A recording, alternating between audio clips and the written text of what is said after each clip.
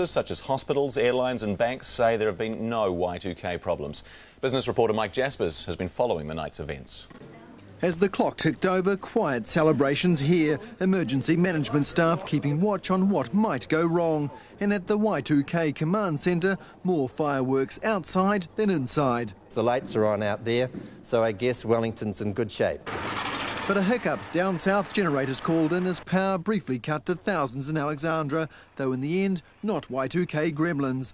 By 2am, testing by essential services all done.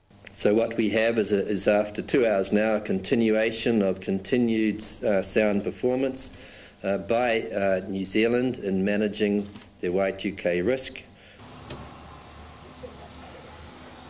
It's three in the morning. I've just got some cash out. I've checked my balance. All my money is there. It seems the banking system is working okay.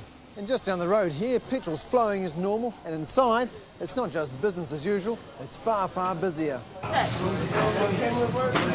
Computer rolled over 01 January 2000. Um, 00 was the time, and off we went. EFTPOS stayed on, everything.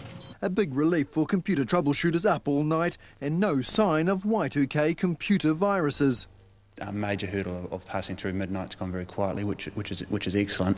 Um, we just need to watch um, some other flash points. Some of our customers have, have, have, turned their machines off, and we know they're going to power on uh, during the first, and some of them even onto the third.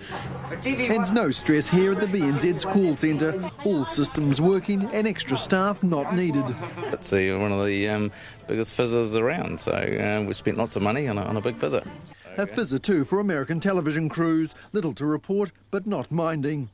This is perfect. Little rain, but that's all right. Overloading the only problem for the phone system.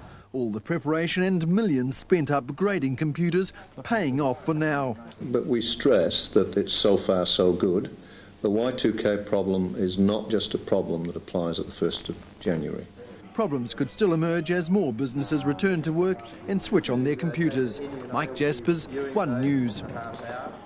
But with essential services looking trouble-free, our Y2K Commission says it may close its command centre early. Across the Tasman, Australia's four biggest banks say they've not encountered any Y2K computer problems. And ANZ, which has extensive offshore operations, says there have been no major glitches all across the South Pacific.